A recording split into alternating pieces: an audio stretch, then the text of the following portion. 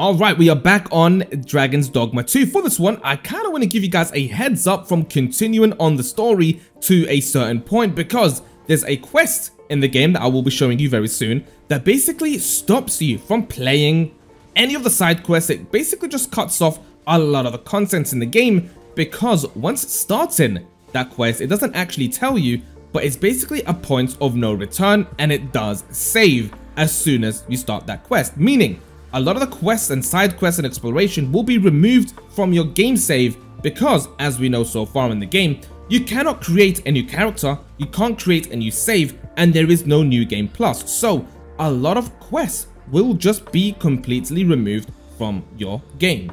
So once we've started to play the game and we've come across this place right here called Bakbattahl, there's going to be a quest in this city at some point in the main story called A New God's Way. I think it's a few different steps, but this is the quest that you do not want to do. A New God's Way. It's basically going to tell you to deliver a few different types of stones to this guy called Ambrosius in Bakbattahl. And yeah, that is where you want to stop. So right here, I am on this uh, quest line right now, and I am not going to be doing it. So what I'm going to do is basically just go into my quest and just take this off and do every other quest that I want to do before continuing on. There's a lot of exploration that I actually want to do and I also have heard if we go into the map right now, there's a part in the map down here and also up here and some places uh, like around here and down there that will be cut off for you. You won't be able to complete any of the quests down here.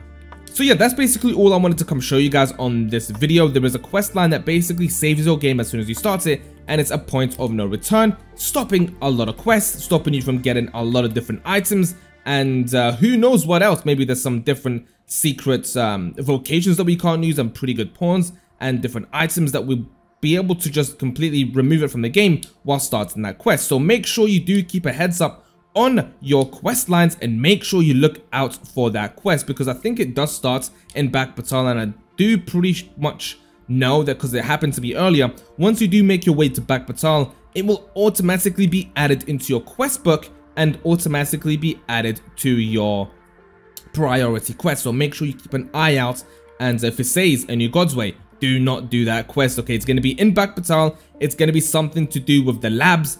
Do not do it, okay? I'm going to be saving you guys a lot of headache and a lot of setbacks from this game because later on I do pretty sure know um, they also are going to be adding new game saves uh, so you can start a new character. Then it's okay to kind of mess up and uh, repeat stuff.